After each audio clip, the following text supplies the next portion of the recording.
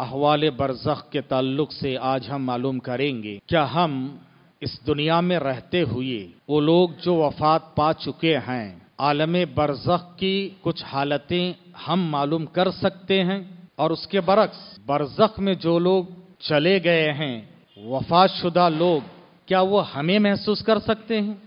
یہ دو سوالات کے جوابات آج معلوم کریں گے۔ يا عبادي الذين آمنوا واسعة فإياي فاعبدون. كل نفس ذائقة الموت. موت کی زندگی ختم نہیں ہوتی ہے موت سے ہمیشہ کی زندگی شروع ہوتی ہے اور اسی زندگی کے بارے میں ہم گفتگو کرنے جا رہے ہیں۔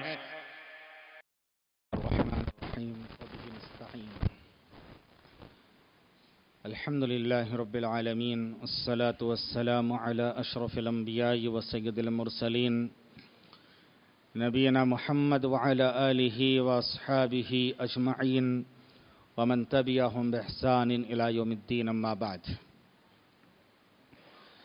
فأعوذ بالله السميع العليم من الشيطان الرجيم من همزه ونفخه ونفثه. ألا إن أولياء الله لا خوف عليهم ولا هم يحزنون. الذين آمنوا وكانوا يتقون لهم البشرى في الحياة الدنيا وفي الآخرة. لا تبديل لكلمات الله ذلك هو الفوز العظيم. حضرین گرامی احوال برزخ کے تعلق سے آج ہم معلوم کریں گے۔ کیا ہم اس دنیا میں رہتے ہوئے وہ لوگ جو وفات پا چکے ہیں، عالم برزخ کی کچھ حالتیں ہم معلوم کر سکتے ہیں؟ اور اس کے برعکس، برزخ میں جو لوگ چلے گئے ہیں وفات شدہ لوگ، کیا وہ ہمیں محسوس کر سکتے ہیں؟ یہ دو سوالات کے جوابات آج معلوم کریں گے۔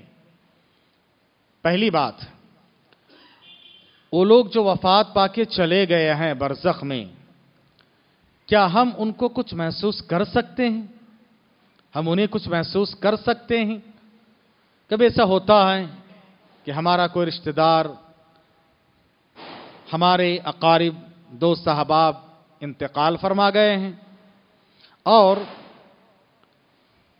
ان کی کیا حالت ہے؟ کیا پریشان ہیں؟ اچھے ہیں؟ کیا حالتیں ہیں؟ کیا ان کی حالتوں کے تعلق سے ہمیں کچھ علم ہو سکتا ہے؟ تو یاد رکھیے، برزخ میں جو وفات پا کے چلے گئے ان کے حالات کا علم اللہ تعالیٰ کبھی زندہ لوگوں کو، خاص طور سے اہل ایمان کو کرا سکتا ہے اور اس کے لیے ایک ذریعہ ہے اور وہ ہے سچا خواب۔ سچا خواب۔ خوابوں کے ذریعے سے اللہ تعالیٰ زندہ افراد کو کبھی فوت شدہ افراد کے تعلق سے معلوم کراتا ہے کہ وہ کس حالت میں ہیں۔ اسی مناسبت سے میں نے آپ کے سامنے سورہ یونس کی آیت نمبر باسٹھ، ترسٹھ اور چوسٹھ پڑھی ہے۔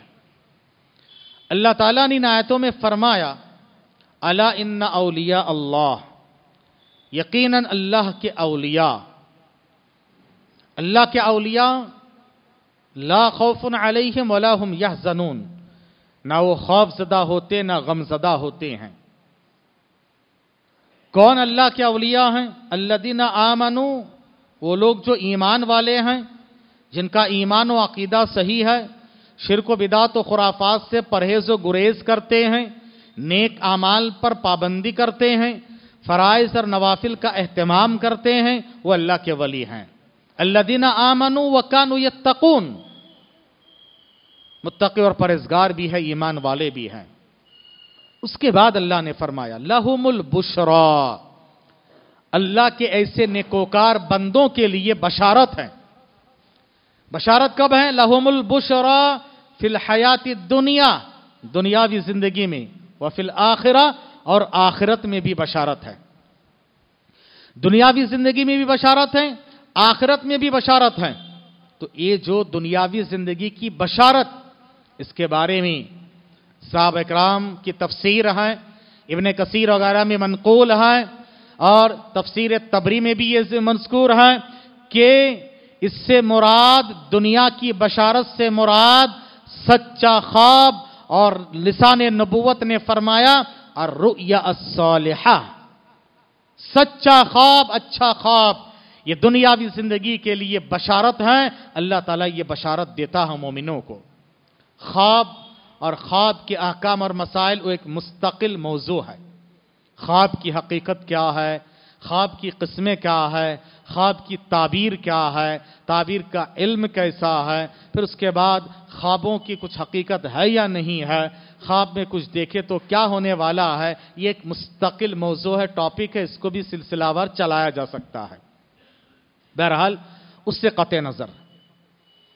تو دنیاوی زندگی میں اللہ تعالیٰ بشارت کے ذریعے سے مومنوں کو کچھ احوال برزق دکھاتا ہے۔ آئیے اس کی چند مثالیں ہم معلوم کرتے ہیں۔ پہلی دلیل صحیح مسلم کی روایت ہے۔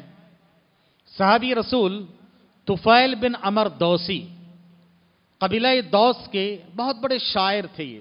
بہت بڑے شاعر اور زبان دانی میں بڑے ماہر تھے۔ انہی کا وہ واقعہ ہے کہ لوگوں نے ان سے کہہ دیا کہ نبی کی بات مت سنو سنو گے تو تم پر جادو ہو جائے گا۔ تو یہ مکہ آتے تھے تو کان میں روئی ٹھونس لیتے تھے۔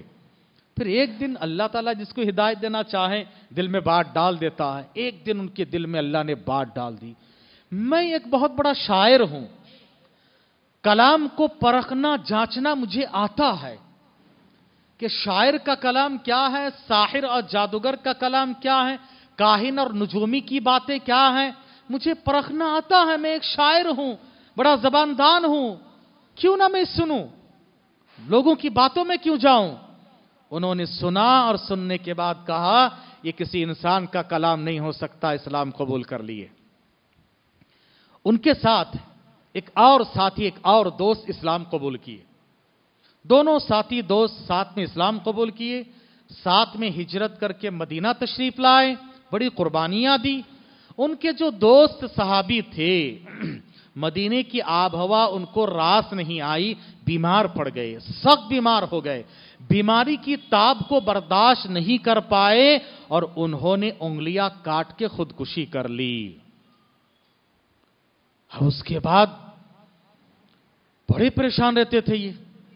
مسلمان ایسے ہوتے ہیں کہ اپنے ایک دوست کی آخرت کی فکر ہونی چاہیے اس کو کہ میرے دوست اسلام قبول کیے، ہجرت کیے، اتنی قربانی دیے، اتنے ساری نیکیاں کیے اور آخر کار خودکشی کر لیے۔ اللہ اکبر۔ پتہ نہیں کیا ہو رہا ان کے ساتھ۔ ہمیشہ اسی فکر میں رہتے تھے وہ۔ ہمیشہ تفائل بن امر دوسی اپنے دوست کی فکر میں رہتے تھے، پتہ نہیں ان کا انجام کیا ہو رہا ہے، ان کی عاقبت کیا ہو رہی ہے۔ انہوں نے خودکشی کر لی۔ نبی سے بار بار جا کر انہوں نے پوچھا، نبی نے کہا کہ اللہ تعالیٰ تو کہتا ہے کہ بادرانی ابدی میرے بندے نے خودکشی کر کے جل بازی کر لی ہے، میں نے جنت کو ان کے لیے حرام کر دیا۔ دیکھو، صحابی رسول ہیں، خودکشی یاد رکھو، یہ مسائل کا حل نہیں ہے، ہم نے اس سے پہلے معلوم کی۔ موت یہ زندگی کا خاتمہ نہیں ہے، مسائل کا حل نہیں ہے۔ ہمیشہ کی زندگی کی شروعات ہے اور ہمیشہ کے مسائل کی شروعات ہے اسی لیے سکون سے جینے سے بڑھ کے اہم ہے اطمینان کی موت آئے۔ اطمینان سے مرنا یہ زیادہ اہم ہے سکون سے جینے کے مقابلے میں۔ غرض خودکشی سلوشن نہیں ہے۔ ہمیشہ کے پرابلم کو شروع کرنے والا ہے۔ اس لیے مومن کبھی خودکشی نہیں کر سکتا۔ بہرحال، ہمیشہ فکر مند رہتے تھے، پریشان رہتے تھے۔ پتہ نہیں میرے دوست کا کیا ہو رہا، کیا ہو رہا، کیا ہو رہا ہے۔ ایک دن اللہ نے خواب میں ان کو دکھایا۔ یہ دیکھو، عالم برزق کے کچھ حالتیں اللہ تعالیٰ نکوکار بندوں کو خواب میں دکھاتا ہے۔ ایک دن خواب میں آئے سے مسلم کا حدیث سنا رہا ہوں۔ خواب میں آئے۔ خواب میں انہوں نے دیکھا اپنے دوست کو، کہا کہ بھائی تیرا کیا حال ہے؟ تیرا کیا حشر ہوا؟ میں تو تیرے بارے میں سوچ سوچ کے پریشان رہتا ہوں۔ تو نے خودکشی کر لیا آخرکار، صبر نہیں کیا۔ کیا ہوا تیرے ساتھ؟ اللہ نے کیا کیا؟ اس نے کہا کہ اللہ نے تو خودکشی کرنے والوں کے لیے جنت کو حرام کر دیا ہے، لیکن اللہ نے صرف میری ہجرت کی وجہ سے مجھے معاف کر دیا۔ میں نے ہجرت کی ہے، ہجرت بہت بڑی قربانی ہے۔ ہجرت کی وجہ سے اللہ تعالیٰ نے مجھے معاف کر دیا ہے۔ اگر میں ہجرت نہ کیا ہوتا تو میرے لیے معافی نہیں تھی، مجھے جہنم میں جانا پڑتا تھا۔ اور وہ کیا کیے؟ انگلی کو کچھ لپیٹ، کپڑا لپیٹا ہوا ہے اور انگلی کو چھپا رہے ہیں۔ جو انگلی کاٹ لیے تھے۔ تو کہا کہ بھائی، انگلی کیوں چھپا رہا ہے؟ انگلی کو کیا باندھ کے رکھا ہے؟ انہوں نے کہا میں شرم کے مارے میں انگلی چھپا رہا ہوں.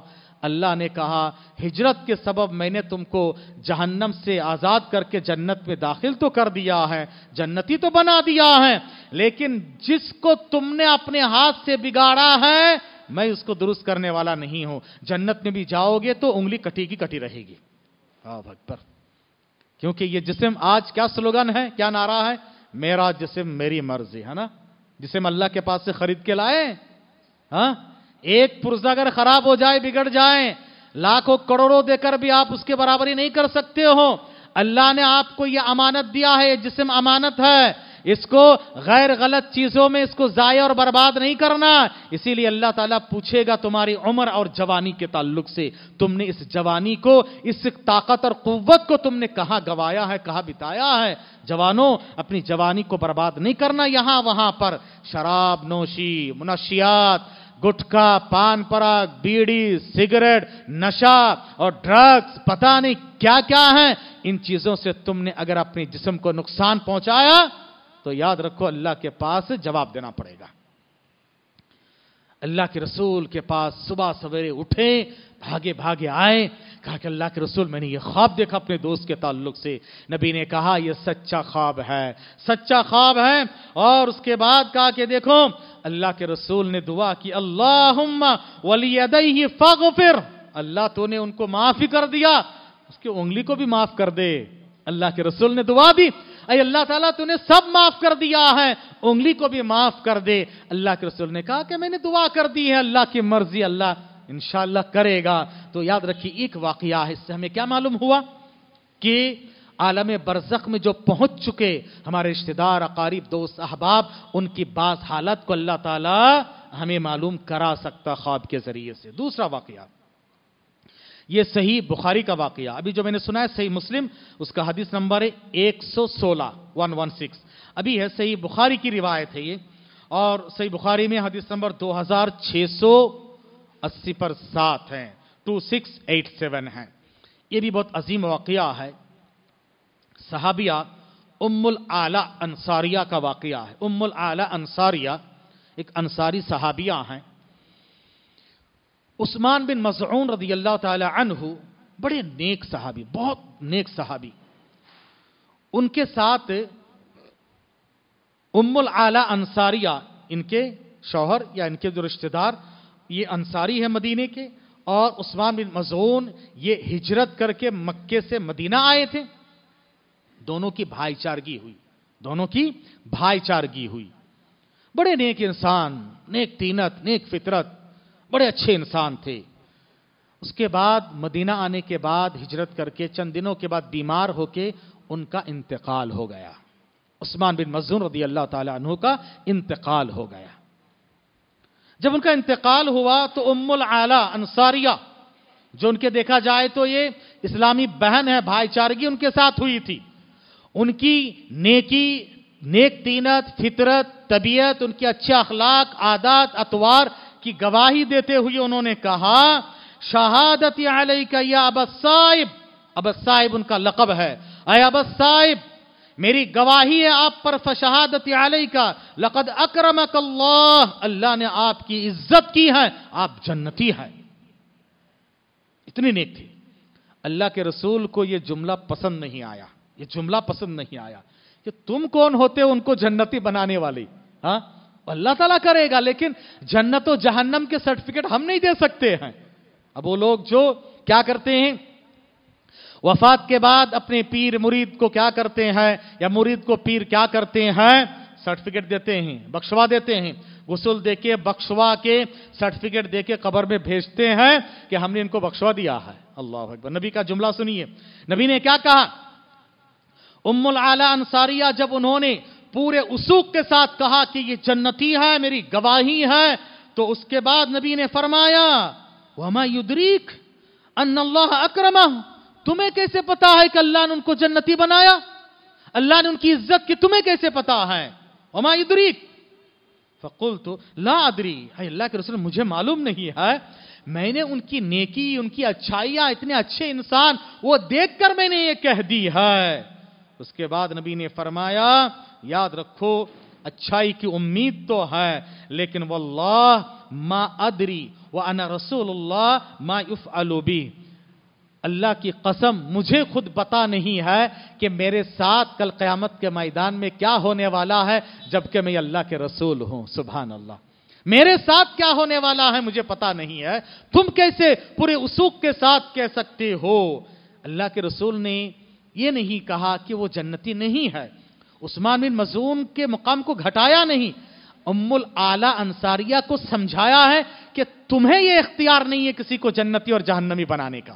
یہ نبی نے تعلیم دی ہے۔ لیکن ام العلی انصاریہ ان کے دماغ میں رہ رہ کر بات آتی تھی، رہ رہ کر بات۔ اللہ کے رسول نے کیوں ایسے کہا؟ اللہ کے رسول نے کیوں ایسے کہا؟ کیا عثمان بن مزون کے اندر کوئی خامی ہے کیا؟ کیا اللہ نے ان کو معاف نہیں کیا کیا؟ کیا اللہ نے ان کو جنتی نہیں بنایا کیا؟ بار بار سوچتی سوچتی سوچتی تھی وہ۔ اللہ کے رسول نے کیوں ایسے کہا؟ جب یہ سوچنے لگی، اللہ تعالیٰ نے ایک دن ان کو خواب میں دکھایا۔ خواب میں دکھایا کہ ایک بہترین چشمہ ہے۔ پانی، صاف، شفاف پانی ہے۔ نکل رہا ہے، باغات ہے چشمے ہیں، جھرے ہیں اور بہترین صاف، شفاف پانی ادھر ادھر سے جو ہے بہ رہے ہیں۔ اور کنارے پہ ٹھہر کر کہا جا رہا ہے، یہ حضرت عثمان بن مزون کی نہر ہے۔ حضرت عثمان بن مزون جو انتقال فرما گئے ہیں، ان کا چشمہ ہے یہ جو بہترین طریقے سے بہ رہا ہے۔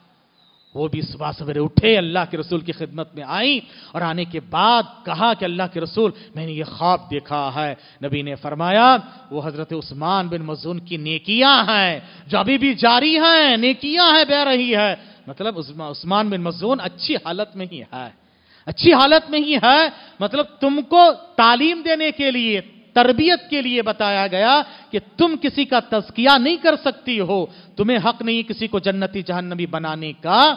البتہ ان کی نیکیاں بے شمار ہے تو ان کو بھی فکر تھی۔ تو اللہ تعالیٰ نے ان کو بھی دکھایا۔ ان کو بھی دکھایا ہے۔ تو اس سے یہ معلوم ہوا کہ اللہ تعالیٰ زندہ لوگوں کو کبھی کبھار عالم برسک کی کچھ حالتیں بتاتا ہے۔ لیکن یہ غیب سے تعلق رکھنے والی بات ہے۔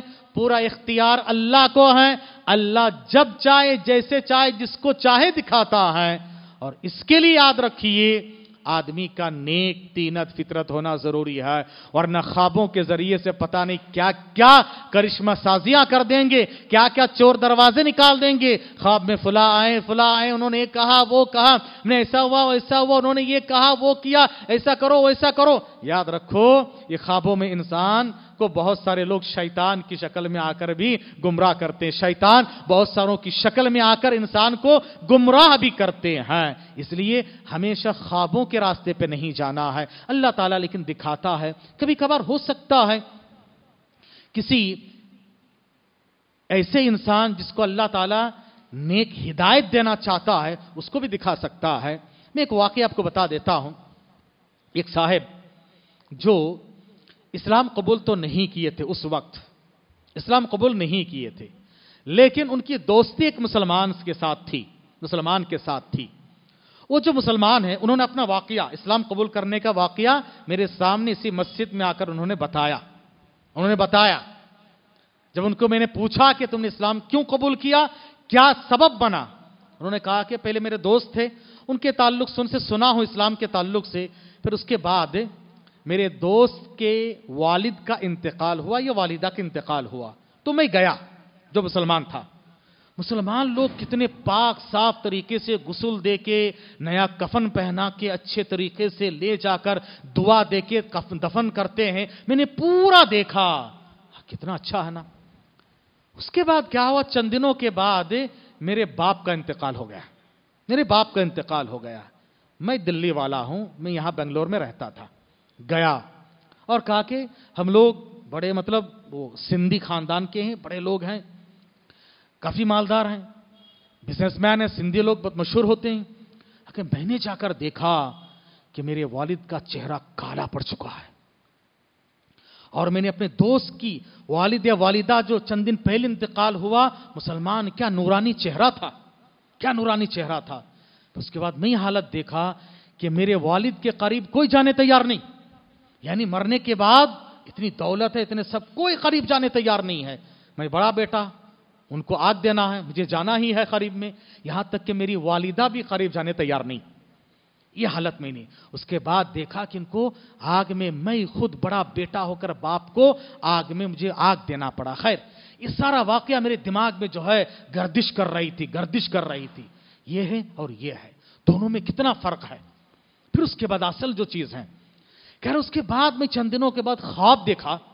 میرے خواب میں میرے والد صاحب آئے اور وہ گندے پانی میں، چاروں طرف گندے پانی ہے، اس میں پڑے ہوئے ہیں۔ چہرہ کالا پڑ چکا، پریشان حال۔ کہہ رہا ہے، بیٹا مجھے بچا، مجھے ہاتھ دے رہے ہیں۔ بیٹا مجھے بچا، بیٹا مجھے بچا۔ پریشان ہو گیا۔ پریشان ہو گیا۔ اس کے بعد آ کر میں کسی مسلمان عالم سے ملا۔ انہوں نے کہا کہ دیکھو، اللہ تعالیٰ تمہیں ہدایت دینا چاہتا ہے، جو ہدایت تمہارے والد کو نصیب نہیں ہوئی۔ تمہارے والد کو نصیب نہیں ہوئی، اللہ تمہیں ہدایت دینا چاہتا۔ ابھی بھی موقع ہے، اسلام قبول کر لو اور بچ جاؤ۔ اس کے بعد میں اسلام قبول کر لیا۔ میں کیا بتانا چاہتا ہوں؟ ایسے بہت سارے واقعات بہت ساروں کی زندگی میں آتے ہوں گے جو کہ قرآن و حدیث کے نصوص ہمیں پیش کرنا ہے۔ میں نے قرآن و حدیث کی باتیں بتا دی اور ایک ایکسپیرینس آپ کے سامنے شیئر کر دیا ہے۔ اس کے بعد اسلام قبول کر لیے۔ تو ابھی وہ اسلام کی طرف مائل تھے۔ اللہ نے ان کو بھی عالم برزق کے کچھ حالتیں اور باتیں بتا دی ہے، دکھائی ہے۔ خیر، وقت بہت زیادہ ہو گیا ہے۔ ہمارا ایک پارٹ رہ گیا ہے۔ وہ ہے، کیا وہ جو وفات پا کے چلے گئے ہیں، کیا ہماری کچھ حالتوں کا علم ان کو ہوتا ہے؟ برعکس ان کو ہوتا بہت سارے لوگ کہتے ہیں ہاں ان کو پتا چلتا ہے، ہمارے گھر میں کیا ہو رہا ہے، کب خوشی ہے، غم ہے، کیا کھا رہے، پی رہے ہو۔ پھر جو ہے خوشی، غم کے وقت میں ان کے لیے کھانا تیار کر کے رکھتے ہیں، دیتے ہیں۔ آج ان کو یہ پسند تھا، آج یہ پکا کر صدقہ کرنا، خیرات کرنا ہے۔ یہاں تک کہ گھر کے مرغیاں فلا فلا کیا سب ان کو پتا چلتا۔ یہ بے بنیاد باتیں ہیں، یاد رکھی غلط باتیں ہیں۔ ان کو کچھ پتا نہیں چلتا ہے۔ کیسے اور کب پتا چلتا، کب پتا نہیں چلتا جو وفات پا کے چلے گئے ہیں۔ انشاءاللہ ان کو ہم کل معلوم کریں گے۔ دعا کی رب العالمین سے اللہ تبرک تعالی ہمیں اور آپ کو شریعت متحرہ کے نصوص کے مطابق عمل کرنے کی توفیق عطا فرمائے۔ آمین۔ سبحانک اللہ بحمدک، اشہدو اللہ الہ الا انت، استغفرک و اتوب الیک صلی اللہ علیہ محمد۔